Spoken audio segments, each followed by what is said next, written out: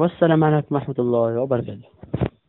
في الفيديو ده هشرح لكم وهوريكم إزاي تقدر إنك تسجل التطبيق تسجل في تطبيق Microsoft Teams عشان تقدر إنك تحضر المحاضرات الأونلاين طبعا ده كل طلاب الجامعات. طبعا هوريكم أول حاجة إزاي إنك تقدر تشغل وتثبت وتدخل ب account الجامعة الخاص بيك من التليفون وبرضه هوريكم إزاي إنك تقدر تسجل بيه من على الكمبيوتر أو اللابتوب. أول حاجة هو ده شكل البرنامج زي ما أنتوا شايفينه قدامكم. برنامج Microsoft Teams.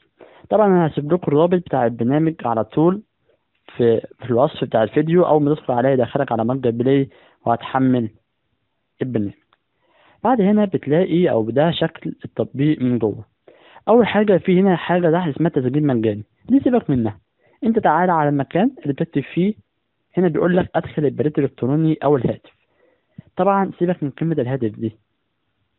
الإيميل بتاع ال- الجامعة ده فيه مميزات كتير متفعلها لك غير لما تسجل بأكونت خاص بيك أو برقم تليفون. عشان هنا كاتبين الإيميل بتاع الجامعة الخاص بيك وبعد كده بنعمل تسجيل الدخول طبعا زي ما قلت لكم في الفيديو انك إزاي تجيب آه، الإيميل الجامعي وقيمة ال- السر بتاعتك. طبعا هسيب لكم الفيديو طبعا في, في الوصف عشان الناس اللي لسه ما جابتش الإيميل الجامعي بتاعها. طبعا زي ما قلت لكم برضه في الفيديو إنك تاخد مثلا الإيميل والباسورد وتحطهم مثلا في مكان معين عشان يبقى سهل وتقدر إنك تجيبهم في أي وقت. زي ما أنا حافظهم كده.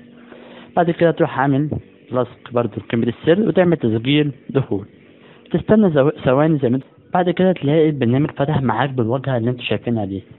طبعا كل اللي تحت دي إعدادات أو مميزات في البرنامج. طبعا أول حاجة النشاط يعني مثلا مين عمل آه، جروبات مين عمل مجاميع مين اتكلم مين علق مين عمل آه، كومنتات. هنا الدردشة تتكلم الناس عادي تتفاعل مع أصحابك. هنا الفرق دي الفرق اللي انت منضم ليها طبعا على حسب كل كلية أو على حسب الشعب اللي انت موجود فيها. طبعا هنا بقى الواجبات وهنا التقييم التاريخ وهنا طبعا مزيد يعني في آلة معينة. زي مثلا تقدر إنك تفتح الوورد تفتح تقدر تفتح آه المؤسسة الكاميرا الملفات تشوف المكالمات تشوف الواردات حاجات كتير. طبعا نيجي بقى ننقل نروح على على اللاب نوريكم إزاي تقدر تسجل فيه بخطوات بسيطة. يلا بينا. دلوقتي بقى هنسجل عن طريق الكمبيوتر أو عن طريق اللابتوب. طبعا أنا هسيب لكم رابط الصفحة اللي أنتوا شايفينها قدامكم دي في صندوق الوصف. وطبعا الناس اللي مش تفتح معاهم الصفحه يقدر يدخل على جوجل يكتب مايكروسوفت ويختار أول رابط يظهر له هيفتحه ويدخل معاه بالموقع أو بالشكل اللي هو موجود قدامنا دلوقتي. بعد كده بنيجي ندوس على تسجيل الدخول.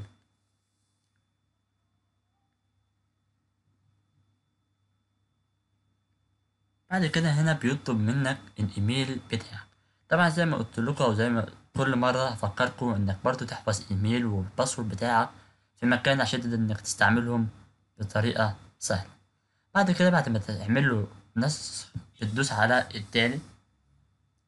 ونفس النظام بتروح واخد كلمة السر وعاملها برضو هنا لصق. وبتدوس على تسجيل الدخول. بعد كده بندوس على عدم إظهار بعد كده ندوس نعم.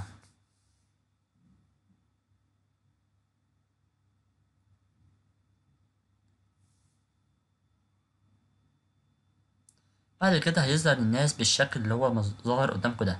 تقدر إنك تدوس على الحصول على تط- تطبيق نظام التشغيل إنك إن هو هيخليك إنك تنزل البرنامج عندك على الكمبيوتر. أو إنك تستخدم تطبيق الويب. إنك تشغل عادي مايكروسوفت على الجهاز طبعا ده اللي إحنا محتاجينه. هيظهر معاك طبعا بالشكل ده بس طبعا الخانة أو الإعدادات هتلاقيها على اليمين. باقي الإعدادات بتاعتك من ناحية الشمال على الصورة هتلاقي الإعدادات هتلاقي الرسائل هتلاقي كل المطلوب منك. طبعا بتلاقي كلمة تسجيل الدخول هنا لو حابب انك تخرج. وطبعا برضو إنك ممكن تقدر تنزل التطبيق عندك على الكمبيوتر واللابتوب زي ما أنتوا شايفين موجود معانا طبعا إحنا منزلينه. طبعا هسيب لكم طبعا الرابط بتاعه انك تثبته على الكمبيوتر في صندوق الوصف.